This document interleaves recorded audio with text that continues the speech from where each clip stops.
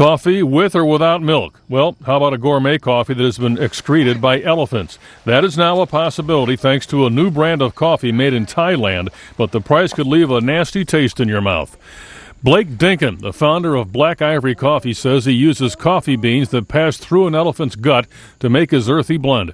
It's even backed by Canadian scientists. When an elephant eats coffee, that there's an enzymatic reaction, so there's acid in the stomach, and that breaks down the protein found in coffee.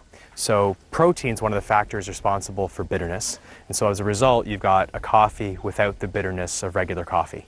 The elephants are fed a diet of ripe coffee cherries with their usual fruit diet. One day later, the beans are picked out of their dung by hand. But is it safe? Won't the elephants get wired on it or addicted to coffee? Because I know what I get like if I don't get my coffee. Uh, but once he assured me that and that he'd done the tests and explained that you don't that the elephants won't get any caffeine out of it, I was I was in favour.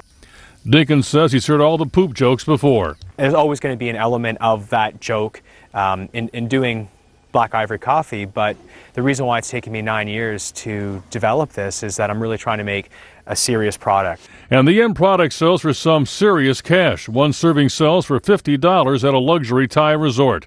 American tourists Ashley and Ryan Nelson couldn't resist a sample tasting. I loved it. It was something different.